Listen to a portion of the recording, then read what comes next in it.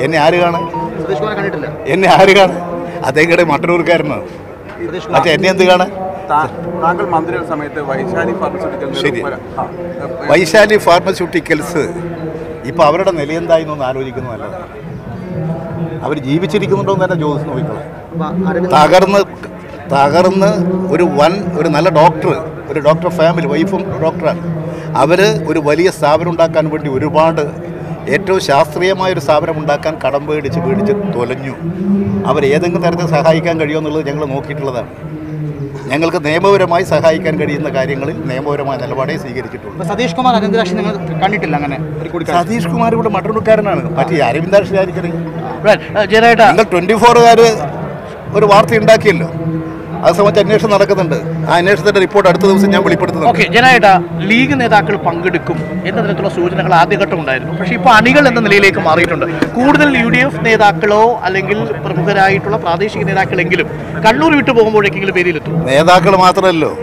കാസർഗോഡ് സേവാദളിന്റെ കോൺഗ്രസിന്റെ സേവാദളിന്റെ ചെയർമാനും വന്നല്ലോ.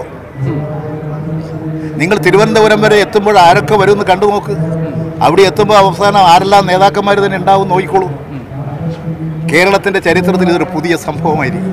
ഒരു മഹാസംഭവം. സംസ്ഥാന നേതൃത്വ ചിലപ്പോൾ അത് സംഭവിച്ചേക്കാം. എ വി ഗോപിനാഥ് വരും എന്ന് പറഞ്ഞിട്ടുണ്ട്. പല നേതാക്കളും വന്നേക്കാം. ആരെല്ലാം വരുന്നത് ഞാൻ ഇപ്പൊ പറയുന്നില്ല ഈ മഹാപ്രവാഹം കണ്ട് കേരളത്തിൽ ജനങ്ങളുടെ മുന്നേറ്റം കണ്ട് എല്ലാ പാർട്ടിക്കകത്തുമുള്ള ജനങ്ങൾ ഈ ഗവൺമെന്റിന്റെ സദസ്സിനോടൊപ്പം ചേരും. ഈ അബ്ദുൽ ഹമീദിനെ ക്ഷണിക്കുമോ മലപ്പുറത്ത് വരുമ്പോൾ അബ്ദുൽ ഹമീദ് ഞങ്ങൾ ഞങ്ങൾ ഇതിൽ എല്ലാവരെയും ക്ഷണിക്കുകയാണ്. അദ്ദേഹം എം എൽ എ എന്നുള്ള നിലയിൽ വന്നാൽ വളരെ വളരെ സന്തോഷം. സന്തോഷ സ്വീകരിക്കുന്നു സ്വീകരിക്കും.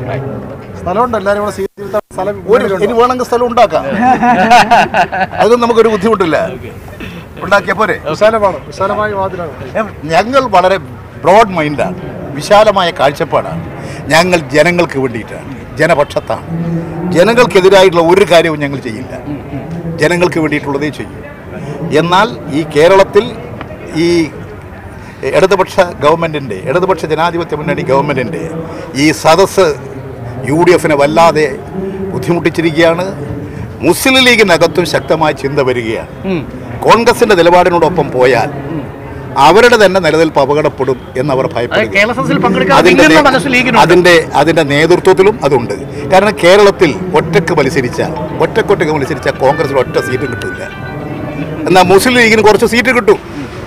ഇപ്പൊ കോൺഗ്രസിന് സീറ്റ് കിട്ടുന്നത് ലീഗിന്റെ ചെലവിലാണ്. കോൺഗ്രസിനേക്കാൾ കേരളത്തിലെ വലിയ രാഷ്ട്രീയ ശക്തി ലീഗാണ്. രാഷ്ട്രീയ ശക്തി എന്ന് ഞാൻ പറയുന്നില്ല.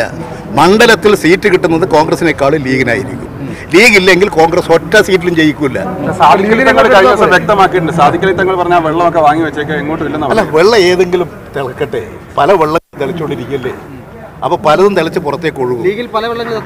പല വെള്ളവും തിളച്ചുകൊണ്ടിരിക്കുന്നുണ്ട് അതെ. പല വെള്ളവും തിളക്കുന്നുണ്ട്. തിള- എല്ലാം തിളച്ച് തിളച്ച് വരട്ടെ. ശരിയിലേക്ക് നമുക്ക് കാത്തിരിക്കുകയാണ്. തീർച്ചയായും.